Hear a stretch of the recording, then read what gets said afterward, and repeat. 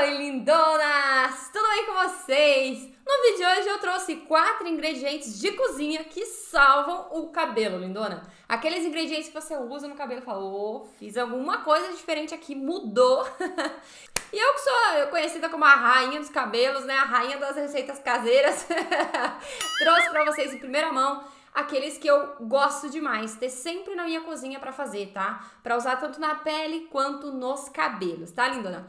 Então já vai compartilhando esse vídeo aí com as suas amigas, compartilha bastante, tá? Porque eu tenho certeza que você vai acabar ajudando a sua amiga com essas dicas que são importantes, né? A gente saber como economizar um pouquinho, né? Usar um produto ali da cozinha que vai te ajudar demais né? E também a gente entender quais são os produtos melhores para o nosso cabelo. Então, por isso que aqui no canal tem tudo para você, tá, lindona? Fala para as amigas seguirem aqui o canal também, que aqui tem tudo sobre cabelo. E se você é nova por aqui, seja muito bem-vinda ao canal Cabelos de Rainha.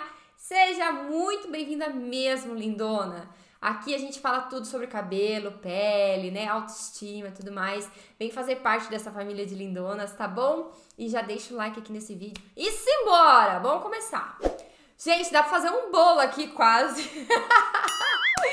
Muita gente, quando eu falo é, geralmente de mingau, alguma coisa assim, fala, Júlia, eu, eu fiz a receita, mas eu acabei comendo a receita, entendeu? Porque tava muito gostosa. e é isso, gente. Ingredientes naturais, essa coisa gostosa, né? Você faz alquimia, você vai experimentando no seu cabelo. É uma coisa muito particular também, né? Tem pessoas que amam, tem pessoas que não se dão bem com alguns ingredientes naturais. Então, vou apresentar aqui para vocês alguns que, assim, tipo, é universal, tá? Eles são universais. As pessoas geralmente amam eles, tá? Então, bora lá começar. Primeiro com leite, propaganda piracanjuba. Lindona, o leite, ele é rico em proteínas. E a proteína faz o quê? Ela ajuda na resistência do cabelo, no fortalecimento dos fios. Então, sempre que eu falo para vocês, usem máscaras com proteína na composição. É, na máscara vai aparecer como proteína do leite, tá? Então, essa proteína aqui é super importante. Além disso, como o leite é um líquido, ele tem ação hidratante nos fios. Então ele ajuda a reduzir o frizz do cabelo, ajuda a alinhar, né? Ele é super importante para usar em receitinhas que você precisa de alinhamento do cabelo e redução do frizz, tá bom? Você pode fazer um galzinho ali, fazer uma misturinha, com uma máscara que você não gostou muito para dar aquela potencializada na máscara, você pode colocar um pouquinho. Ou aquelas máscaras que vem muito concentradas, sabe? Que você não sabe o que fazer com ela, que é difícil de aplicar no cabelo. Coloca uma colherzinha de leite, tá? E mistura bem, que vai ficar muito mais fácil e muito mais homogênea a mistura para você aplicar.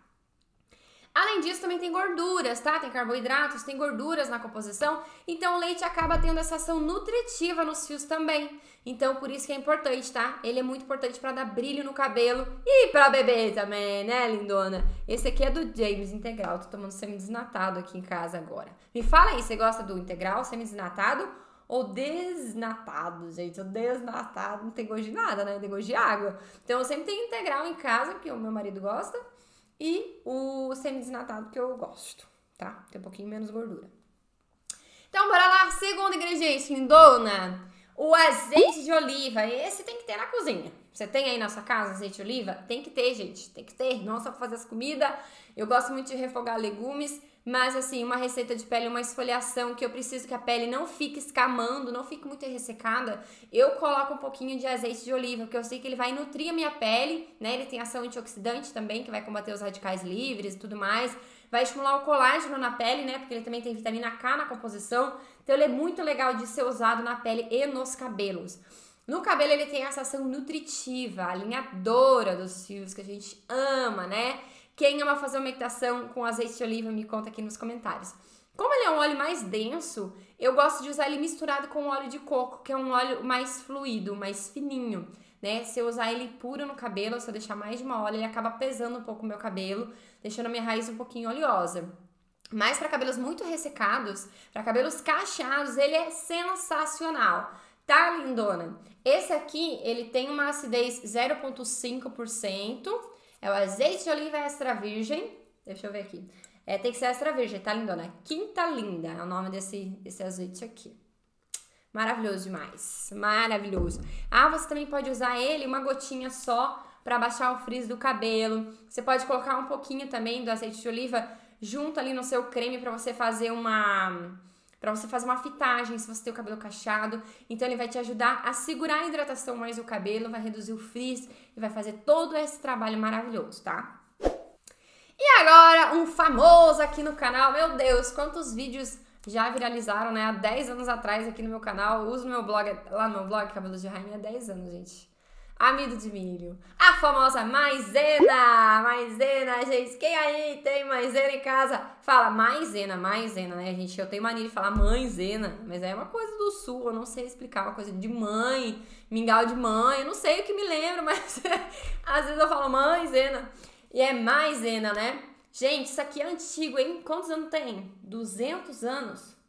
Minha filha faz um bolo fofinho, é gostoso demais. Para quem não sabe, você coloca uma pitadinha ali para engrossar o feijão também, sabe quando o caldo tá ralinho? Coloca uma colherzinha numa, num pouquinho de água, mistura bem e pega esse, esse líquido branco e joga no feijão. E aí deixa esse feijão encorpar, você vai ver que vai encorpar muito mais rápido, caldo, feijão, tudo mais. Gente, eu amo cozinhar, né? Então não pode botar uma dica de cozinha aqui no meio desse vídeo, né?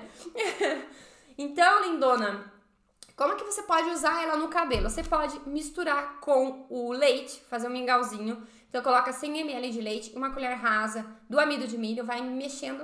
Começou a encorpar, você já tira do fogo. Não deixa ficar duro, porque vai, vai dificultar em passar no seu cabelo.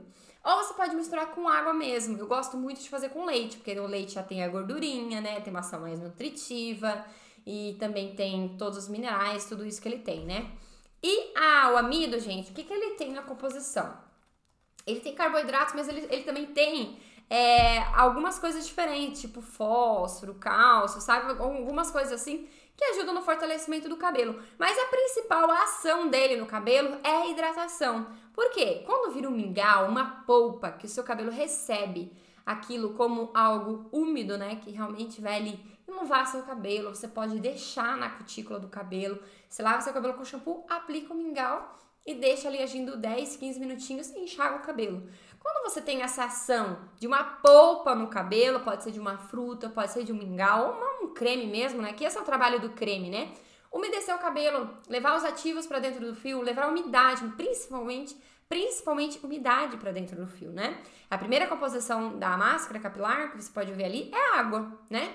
Então, nosso cabelo precisa muito de água principalmente nesse inverno sextorricante que tá aqui em Campinas, que a gente tá morrendo assada, né? Então a gente precisa de muita hidratação, lindona, para manter o cabelo saudável, tá? Então aproveita o amido de milho, aproveita que tem aí na sua cozinha de casa. Você tem um creme baratinho? Mistura com ele, faz um mingauzinho, coloca uma colher de um creme baratinho e pronto. Eu até nem gosto de misturar com cremes mais caros e tal, né? Porque ele realmente já faz um papel excelente no cabelo. Então não precisa você pegar uma máscara que você tem mais completa assim e misturar com amido. Pega um creme baratinho, mais acessível, esses de farmácia mesmo que você encontra na farmácia, que tem mais na composição água, glicerina, tudo mais só para realmente dar uma, uma emoliência melhor para você aplicar no cabelo. E lindona, te prometo, tá? Vai realmente salvar seu cabelo. Tem pessoas que não têm condições de comprar uma máscara boa e usa só amido de milho como uma máscara bem baratinha no cabelo e consegue hidratar o cabelo, recuperar o cabelo. Usa um óleo natural, um óleo mais baratinho, né? Um azeite de oliva, um óleo de coco mais acessível. Compra na casa de produtos naturais, que é mais barato. Você vai ver que você vai conseguir recuperar o seu cabelo, vai salvar seu cabelo aí com produtos naturais tá bom? E eu sou prova disso, gente, que eu uso há muitos anos, não fico sem, então eu gosto demais, né? Vou indicar aí pra vocês porque eu gosto. E aí também temos o mel. Mel também é de cozinha. O mel não está muito barato. Esse foi até que barato, ó. Foi R$19,90. Esse mel aqui é da Coroados. Esse mel da Coroados. Olha, tem até um favo aqui dentro, gente. Olha que bonito. Ó. Olha que lindo! Mas a gente chega a ter mel de 50 reais, né? Aqueles frascos de vidro assim. Então eu escolhi um mais acessível aqui para mostrar para vocês. O mel, gente, é maravilhoso para você comer, né? Com, com, com queijinho, né? Eu gosto de comer com pão, com queijinho. Ai, gente, ele é muito gostoso. E no cabelo, o que, que ele faz? Na pele, gente, ele deixa a pele uma seda, né? Primeiro lugar. Ele tem ação antioxidante também, ele dá aquele efeito lift na pele. Então eu gosto muito de fazer máscara com mel por conta disso tá? E no cabelo, ele tem ação antifrizz, tá? Ele vai alinhar o cabelo, alinhar a cutícula, vai hidratar o cabelo, vai deixar o cabelo mais brilhoso, né? Ele dá um brilho incrível pro cabelo, bem semelhante ao brilho do que o açúcar dá pro cabelo. Então é muito legal de você ter aí na sua casa para você colocar na sua máscara quando você quiser um brilho a mais no seu cabelo. Que é aquele cabelo soltinho, sabe? Soltinho, gostoso de pegar, que escorrega, assim, os fios escorregam. Quando você passa a mão, usa mel, tá, lindona? O mel é maravilhoso para deixar o seu cabelo super alinhado. E além disso, se você for usar numa receita na raiz, por exemplo, com uma babosa, enfim, ele vai o que? Ajudar a controlar a oleosidade. Ele não vai deixar a sua raiz oleosa, tá? E ele tem ação antioxidante. O que é antioxidante? Ele tem vários minerais na composição que combatem o envelhecimento do cabelo combatem o envelhecimento da pele também. Estimula o colágeno, então você pode usar tanto na pele quanto no cabelo quanto para comer, né? Tá, lindona? Gostaram das dicas? Esse foi um vídeo bem divertido, bem legal. Eu quis trazer, assim, algo da cozinha mesmo pra vocês aproveitarem. Compartilha muito, muito, muito esse vídeo, lindona, que é super importante para você ajudar outras pessoas, né?